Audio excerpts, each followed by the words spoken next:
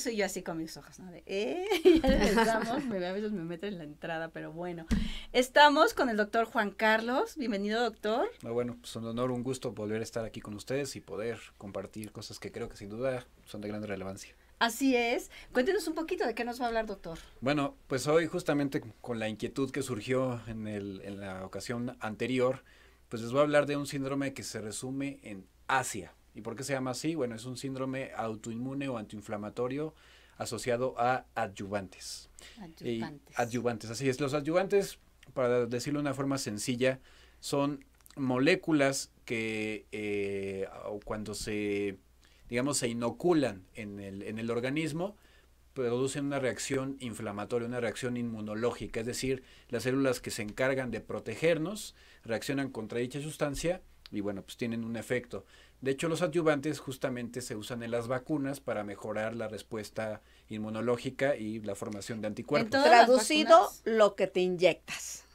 Bueno, no todo lo que inyecta, sino eh, ciertas sustancias, por ejemplo, el aluminio, que es algo que se No, no, a lo que me refiero es que para que entiendan, Ah. En nuestro público del otro lado es aquello que, que, te llegas a inyectar y que ahorita tú nos vas a hablar sobre las sustancias que pueden ser nocivas. así es. Sí, o sea, es, es todo tipo, cualquier tipo de inyección o son algunas en especial. No, no, no todas. Justamente surgió la inquietud por estas inyecciones que están muy de moda, desgraciadamente la vanidad. ¿Qué tipo de inyecciones? Barata, ¿verdad?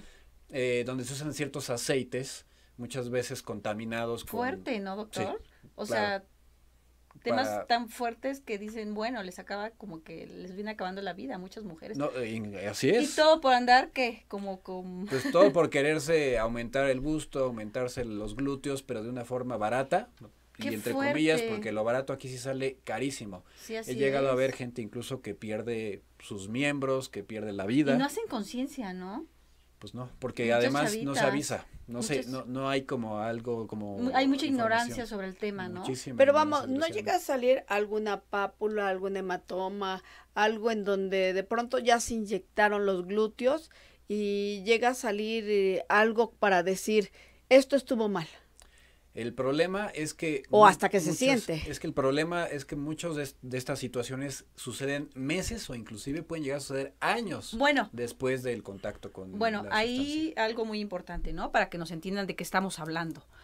Eh, no, soy no soy doctora, pero sí entiendo un poquito. Eh, bueno, hay dos tipos de que se pueden inyectar, ¿no? Hay personas que se inyectan aceites, no hay como ir a un médico cirujano, ¿es cirujano? No, debe que es lo correcto para que les inyecten lo que realmente les tienen que inyectar, ¿no? Si es que requieren eso, pero aunque yo creo que no tampoco no es tan sano, pero por lo menos no se meten en ese tipo de problemas tan fuertes, ¿no? Puede ser que pegue, ¿no? ¿O no? Eh, pues... Usted dígame. De hecho, de hecho este, hay que tener mucho cuidado con este tipo de inyecciones, porque inclusive hasta los implantes de silicón o de silicona pueden llegar a generar problemas graves de salud ah, precisamente vinculados con este síndrome, que es el síndrome de Asia.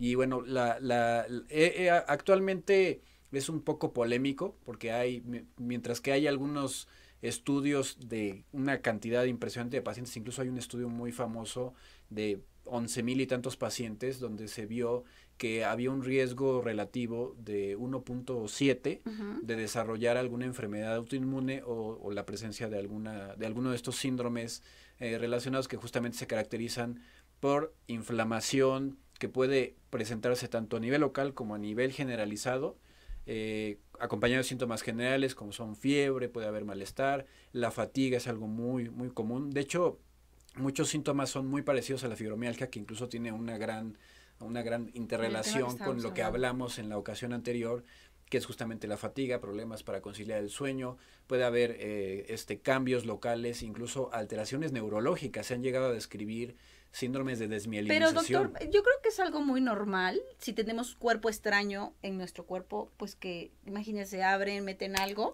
Entonces, pues yo creo que es, ese es el problema, ¿no? Busca por dónde salir o, bueno, se lo estoy hablando así como eh, más... Pues, más aterrizado. Sí, sí, sí, sí. imagínate, te abres y te metes algo, pues tiene que, o sea, no es tan fácil que se acople, ¿no? Adentro. Ah, sí, sí, no, porque de hecho, curiosamente, hablando de eso, precisamente alrededor de, de, pues, de las cápsulas, de los implantes de silicona, se desarrolla una reacción que se llama reacción de cuerpo extraño, justamente por esto que comentas. Sin embargo, cada paciente es diferente. Y el tema aquí es, sobre todo cuando se rompen, porque sí se llegan a romper en ocasiones, pues las cápsulas. Eso es cuando le meten implantes y cuando les meten el líquido directo, que eso es lo que les daña no, más. Eso es todavía, eso es todavía peor, pero es muy variable. Aquí sí hay un contexto genético que, que hay que considerar. De hecho, se ha vinculado con ciertas variaciones genéticas en una molécula que se llama molécula del complejo mayor de histocompatibilidad, que es lo que nos ayuda a reconocer lo que es nuestro de lo que es ajeno. Y hay personas en las que hay una alteración en esta molécula que los hace especialmente susceptibles a desarrollar autoinflamación, o sea que el mismo cuerpo se enloquece. Y Pero puede haber cura, doctor, después de todo ello, si se puede encontrar como que a tiempo de alguna manera hablando.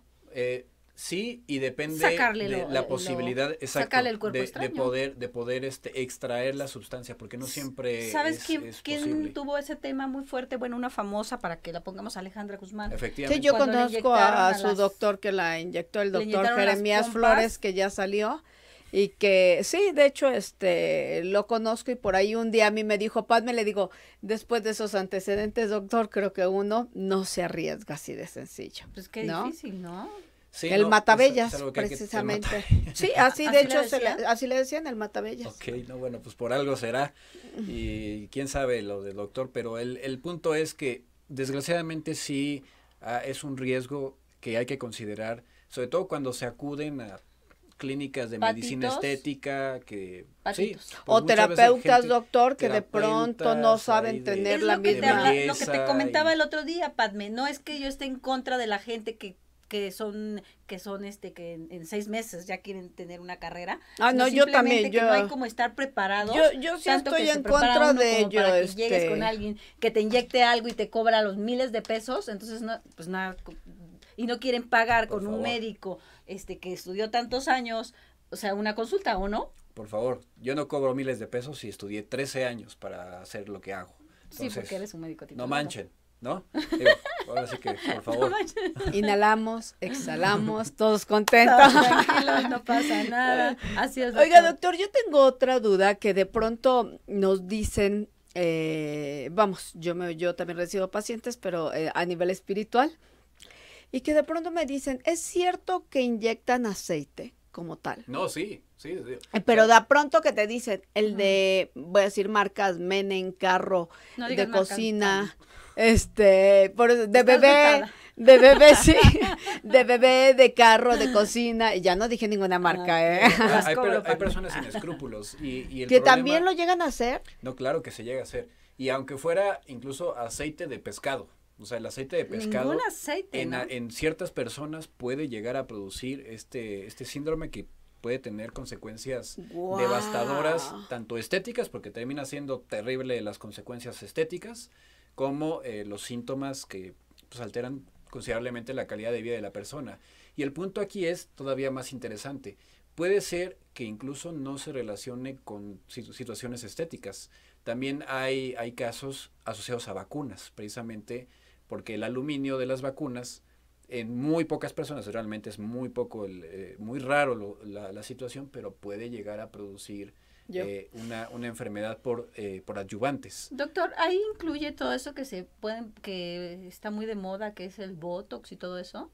Bueno, el cuando se los inyectan les puede dañar también. Eh, no, pero ¿En qué les afecta? El, el, botox en realidad es un derivado de la toxina botulínica que, pues, para, para que se den una idea, la toxina más potente que existe en la naturaleza es justamente la toxina botulínica. Un gramo sería suficiente para matar a todo Por eso la gente que se lo pone está como muy dura de la lo cara. Que hace, lo que hace es producir una, una parálisis flácida ah, de, del, del, digamos, del músculo que, se, que esté afectado.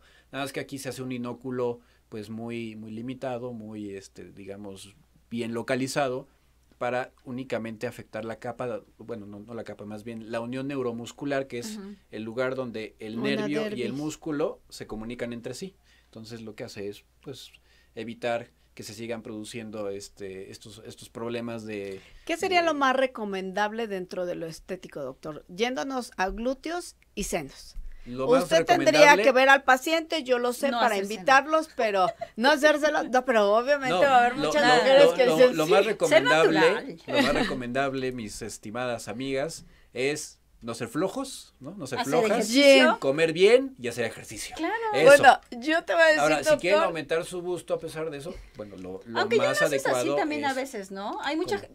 Sí pasa que mucha gente ya ¿Que nace nacen flojos o cómo? no ya nace Ah, como sí, que te nace flojo. con sus curvitas ya la gente Ah, ya no sabe no, claro, distinguir claro. no porque Bueno, pues, yo tengo mucha cintura y eso es 100% natural, que a mí me pasó con una chica de Playboy que me dice, naces, ¿no? tengo veintitantas operaciones. ¿No? Y yo le dije, yo ninguna.